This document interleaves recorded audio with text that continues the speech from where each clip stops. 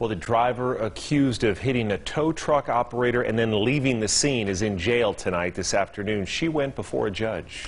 51-year-old Colette Despain faces several charges for the incident Tuesday night that took the life of 48-year-old Ryan Billett. Christian Cáceres spoke with Despain's son, and he joins us live from the newsroom with uh, how police managed to track her down. Christian? That's right, Denise and Brian. Colette Despain was arrested last night after detectives received an anonymous tip. I spoke with her son today who says he can't comprehend their new reality. Now, Despain was dressed in black and in handcuffs today during her court appearance. Now, she's charged with failure to stop at a scene of an accident, failure to maintain lane and proper lane change, failure to give info at an accident, and a probation violation. According to NHP, Despain is the person who hit and killed Ryan Billett. The 48-year-old tow truck driver was working near the 215 Southern Beltway and Decatur when he was hit. Despain, Despain's son, Jordan, shared the moment when he learned about what happened.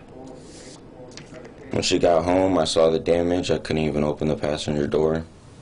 Um, she was limping. Her ankles were swollen. Um, her back was kind of hurting.